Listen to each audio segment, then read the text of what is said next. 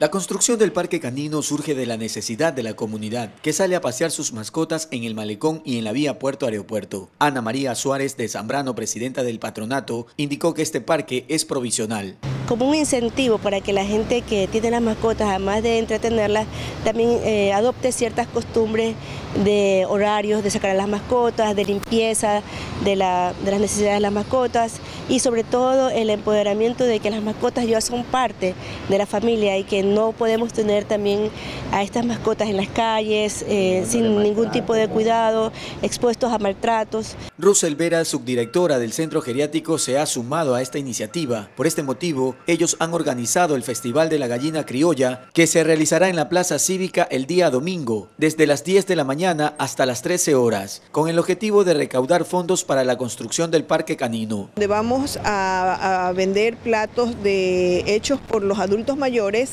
eh, como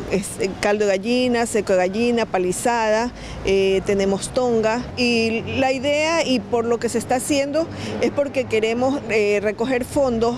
para un proyecto eh, que es este, un parque para mascotas. El parque está ubicado en el sector La Poza, detrás del Parque de la Armada, donde ya se observa un cerramiento metálico y maquinarias colocando material pétreo. Esta iniciativa del patronato es apoyada por la empresa privada. Bueno, la inversión aproximadamente son de 30 mil dólares, pero es una inversión 90% eh, de la empresa privada,